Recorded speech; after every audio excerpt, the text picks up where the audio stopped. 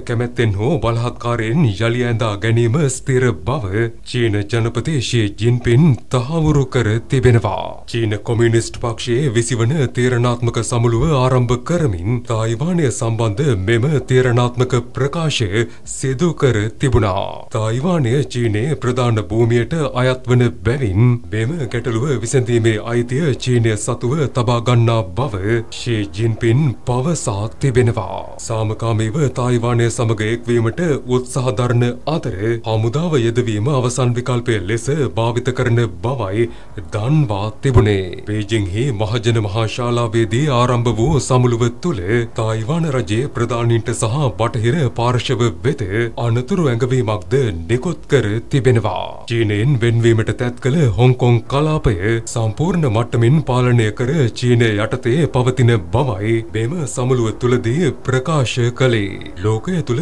වර්ධනය වන සීතල යුද තත්ත්වයන් සඳහා චීනය කිසිදු උනන්දුවක් නොදක්වන අතර වෙනත් රාජ්‍යන්හි අභ්‍යන්තර කටයුතු සඳහා මැදිහත් නොවන බවද පැය දෙකක් පුරා චීන ජනපති සිදු කළ ප්‍රකාශය තුළින් පවසා තිබෙනවා. ගෝලිය මට්ටමේ බලවතකු ලෙස අතීතයේදී චීනයට පැවති තත්ත්වය ස්ථිර මට්ටමින්ම යළි උදා කරන බවයි ෂී ජින්පින් සඳහන් කළේ. මෙහිදී ලෝක මට්ටමේ හමුදාවක් බවට චීන හමුදාව පරිවර්තනය කිරීමට කටයුතු කරන ලෙසයි හමුදා ප්‍රධානින් වෙත නියෝග ලබා දී තිබුණේ. අනාගතයේදී මතුවිය හැකි ඕනෑම යුද තත්ත්වයක් වෙත චීන හමුදා සූදානමින් තැබීමටද නියෝග ලබා දී තිබෙනවා. නවතම වාර්තා තුළින් චීනයේ රාජ්‍ය මාධ්‍ය වාර්තා කළේ සමුළුව තුළදී චීන ජනපතිගේ තුන්වන දූර කාලය සහතික කරන බවයි. මෙම සමුළුව තුළදී චීන ජනපති වෙත කිසිදු මට්ටමේ අභියෝගයක් එල්ල නොවන බවද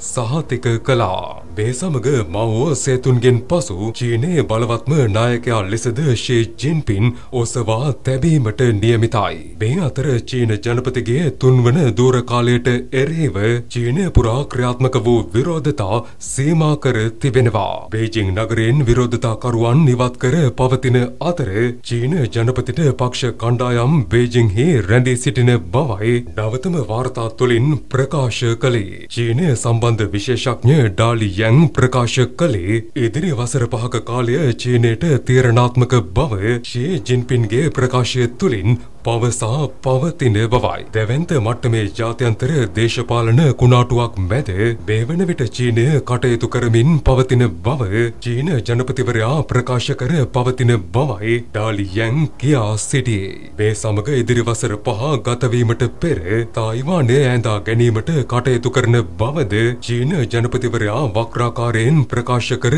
පවතින බවයි විශ්ලේෂකයා සඳහන් කළේ. චීනය තුළ කෝවිඩ් සීමාවන් ලිහිල් කිරීම කිරීම පිළිබඳ චීන ජනතාව දැඩි අපේක්ෂා තබා තිබුණද එය අකණ්ඩව පවත්වාගෙන යාමට කටයුතු කර පවතින බවයි මෙම වාර්තා තුළින් සඳහන් කළේ. මේ අතර තායිවානය සම්බන්ධ චීන ජනපතිගේ ප්‍රකාශය වෙත තායිවාන රජය නිල මට්ටමින් ප්‍රතිචාර පල කර තිබෙනවා. නිවේදනයක් නිකුත් කරමින් තායිවාන කවුන්සිලය සඳහන් කළේ චීන ජනපතිවරයා අපේක්ෂා කළ අයුරින් තායිවානය සහ චීනය ඒකාබද්ධ වීමක් සිදු නොවන බවයි. තායිවානය ස්වාධීන මට්ටමේ රාජ්‍යයක් වන අතර චීනය එම අයිතීන්ට ගරු කළ යුතු බවද දන්වා තිබුණා. තායිවානය වෙත සිදු කරන ඕනෑම චීන ආක්‍රමණයක් බරපතල මට්ටමේ ප්‍රතිවිපාක මතු කරනු ඇති බවයි තායිවාන රජය සඳහන් කළේ. ජාත්‍යන්තර මූල්‍ය වෙළඳපළ වාර්තාවක් තුළින් කියා සිටි චී ජින්පින්ගේ ගත වූ වසර දහය තුළ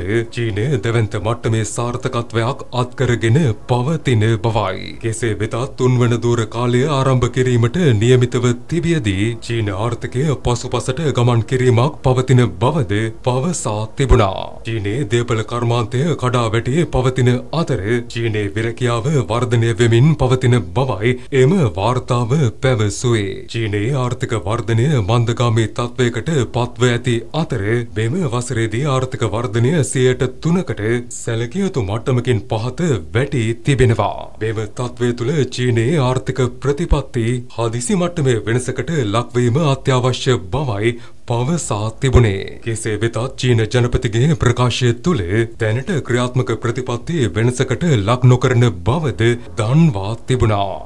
ලොව වටා වැදගත් පුවත් දැනගන්න ලංකා ඒ නිවුස් සබස්ක්‍රයිබ් කරන්න. නවතම වීඩියෝ සඳහා පහත සීනුවේ බොත්තම සක්‍රිය කරන්න.